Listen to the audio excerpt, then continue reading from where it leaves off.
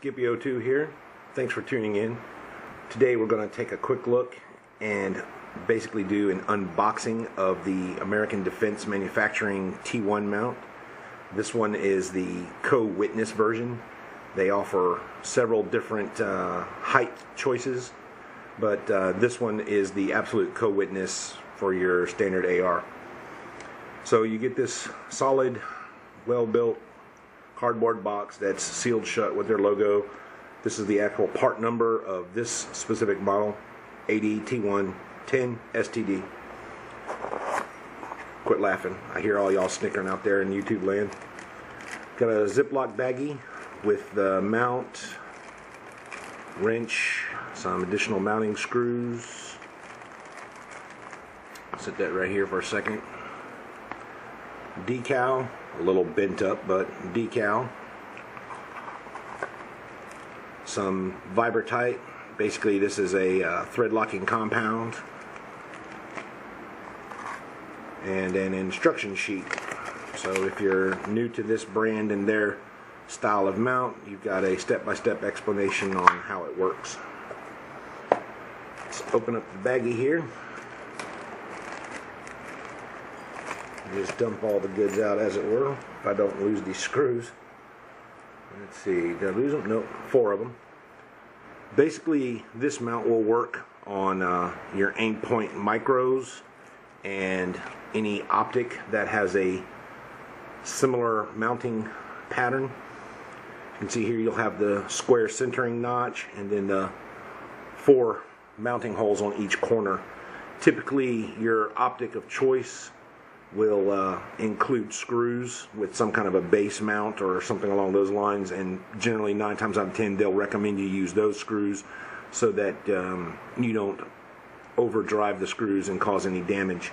But um, these are pretty short and stubby. They look to be about the same as the factory ones. So six and one half dozen the other. If you lose one or two or four I guess you're good to go. Also I'm sitting here noticing these are actually Torx not Allen. Yeah, so it does come with the necessary Torx wrench for those screws. But um, here you see the mount. It's got their logo etched on the side. The quick disconnect auto lock made in the USA. The reverse flag. And then again, this is their quick disconnect system. This is the lock latch. You can see their logo or name abbreviation in there for their website, their patent number across the top for those that may be interested in that, and then design. Basically, it's a 7075 uh, chunk of aluminum that's all machined out, and then it's hard coat anodized. You can see its model number, serial number there. These are very affordable options. I've used, I don't know, three or four of them previously. I have yet to have one break, fail, or not perform up to and beyond its design. And I like their auto locking feature, and I'll uh, show you real quick how that works basically.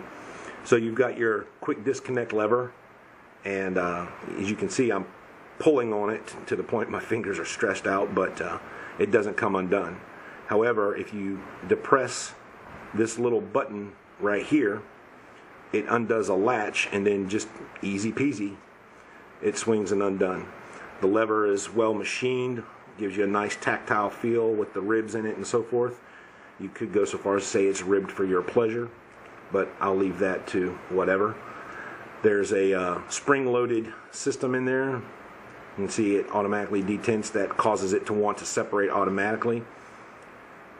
Then when you flip it back, no need to mess with anything, just flip it back. And again, it automatically locks into place and will not come undone until you depress that lever right there and voila. Another neat feature is their built-in adjuster. Basically what you do is you unlock it as you saw right there and then you want to depress on this side and you'll see here this section, this nut basically sets into a recess in the mount itself. So when you press on the other side, it comes up. And what you can do is by hand, if I can get a good grip on this here, you can rotate it. And that will either tighten, whoops, or loosen your tension setting. So before you put your mount and everything on, preset this find your desired tension position as far as the mount, and you can see it's got a pretty good chunk of metal here on both sides for that matter for gripping the rail sections. You can get a look at that, and that's what really makes the lock, the the clamping force, so to speak. You know, you can tighten this down all day long, but if you've only got a little itty bitty section of, you know, material biting the rail, it's not going to give you a positive lock. Another feature on this mount is the crossbar is actually the exact thickness of the gaps in your uh, rail segments. So when it's on the rail, there is no shimmying fore and aft. It's in there. So you simply adjust this up, flip your switch, and it's on there. It ain't going anywhere. But um, anyway, so solid mounts, love them. Very, very competitively priced. And do I even need to say anything about that right there? Come on, y'all. Come on. Anyway, American Defense Manufacturing.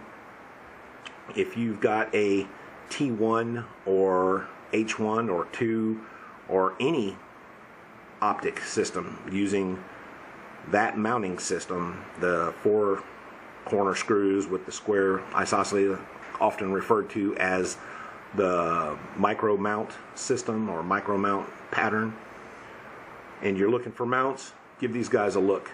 These products are absolutely bulletproof. I love them. Totally Skippy02 approved. Anyway, there it is. There's what you get. And uh, again, American made, guys. American made. Appreciate y'all taking the time to watch. If you liked what you saw, by all means, hit that like button. If you'd like to keep up with all the different things we've got going on around here, subscribe. Stay tuned. In the meanwhile, everybody, take care of yourselves. Take care of each other. God bless.